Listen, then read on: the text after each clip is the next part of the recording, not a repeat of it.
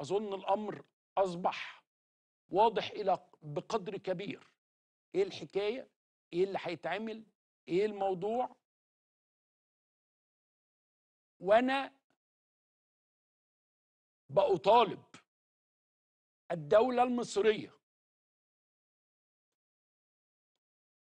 إنه كان موقفك نبيل وشريف وعظيم يناسب قيمة مصر. خلاص؟ يعني ما قمنا به في السنوات الماضية من 2009 2010 2011 لغاية النهاردة في ظل أحلك الظروف. لم تغلق مصر بابها في وجه إنسان. شيء راقي ومحترم وإنساني وإسلامي وكل شيء اللي أنت عايزه. خلاص؟ أرجوكم تحملوا بقى اللي أنا هقوله وأنا عارف أن الدولة المصرية ترفض طلبا مثل هذا الطلب. لو سمحتم تقدموا للمجتمع الدولي بالمعونة. اطلب المعونة. أنت شايل أكتر من حملك مع أزمة اقتصادية مع رأي عام مصري مش طايق. مش طايق الفكرة إنه في ناس بتو ب ب ب ب يعني بتشاركوا في اللقمة.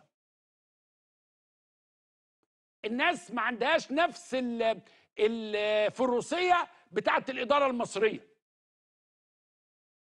رغم إن دي مصر. من هنرجع تاني بقى من أيام الأربعينات والخمسينات والفنانين اللي جم مصر والناس اللي عاشت في مصر وأنا كان أبويا مش عارف إيه وكنا متجوزين ناس سوريين وكنا جيراننا كل الحوادث. ولكن آن الأوان أن تكون واضحا مباشرا. يا جماعة قولوا كده. يا جماعة يا بنك يا دولي يا صندوق يا النقد يا أمم يا متحدة. أنا أنا شايل الناس دول على راسي وفي عينيا. والمواطن السوداني أخويا والمواطن السوري أخويا والمواطن اليمني أخويا والمواطن الليبي أخويا والمواطن العراقي أخويا والمواطن اللبناني أخويا. ده كل اصله سيادة النائب بيتكلم بيقول لك عندما ينتهي ده اسمها في المشمش. يعني أنت عايز تقول لي إن الوضع في سوريا هينتهي بكرة؟ انت عايز تقول لي إن الوضع في ليبيا هينتهي بكرة؟ انت عايز تقول لي إن الوضع في لبنان هينتهي بكرة؟ ده اسمها في المشمش. الناس دول قاعدين ومعذورين.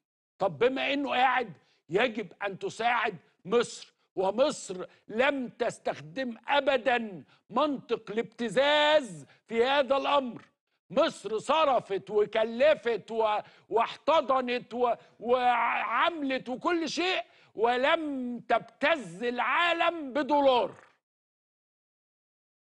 لم نبتز أحدا بدولار القانون اللي معمول ده نصه لو تقراه نص حقوق ده أنا عامله عشان أديك حق روح اتعالج أنت من حقك تتعالج انت من حقك تتعلم انت من حقك تعمل شركة انت من حقك تحافظ على فلوسك انت من حقك آه، آه، تعمل ال- الكيان بتاع انت من حقك تأجر شقة انت من حقك كذا كذا. أنا بديك حقوق المواطن اللي المواطن المصري شايف انه يعني مش واخد كتير انما المواطنة دي يا جماعة ان تكون مواطنا ربنا ما يكتب عليكم لأن أنتم من الدول القليلة في المنطقة الذين لم تجربوا في حياتكم أن تكون لاجئا. ربنا ما يكتب عليك إنك تكون لاجئ. أنا مش فاكر في تاريخنا كنا لاجئين في أي حتة. إحنا يوم ما لجأنا لجأنا في مصر. يعني يوم ما أهلنا في مدن الكنال. كان في الحرب جم وفتحنا لهم بيوتنا في الشرقية والدهلية والمنصورة والقاهرة. هو ده اللجوء اللي إحنا كنا عارفينه. إنما عمرنا ما كنا لاجئين في حتة. فهذا الأمر يجب إن الحكومة المصرية تكون كان أردوغان واضح جدا قال لك أنا عندي 3 مليون سوري وده على فكرة ده عنده 3 مليون لاجئ. بال- بالقانون يعني بالورقة والقلم بالقانون. أردوغان عنده 3 مليون لاجئ سوري موجودين على الحدود وموجودين لغاية دمشق لغاية جوه دمشق جوه إسطنبول أنا آسف. جوه أنقرة. خلاص مواطنين على قد إيه. فراح قال الاتحاد الأوروبي قال لهم هو سؤال واحد هتدفعوا لنا معونة لأن أنا وتركيا يعني برضو اقتصادها مش وحش يعني لأن أنا مش هدفع الكلام ده. ولا تلاقيهم بكرة في ألمانيا. قالوا لا ندفع.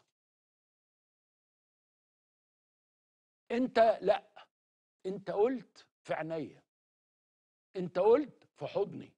انت قلت أنا مصر انت قلت أنا مهد العروبة وأنا أنا من دخل مصر فهو آمن خلاص.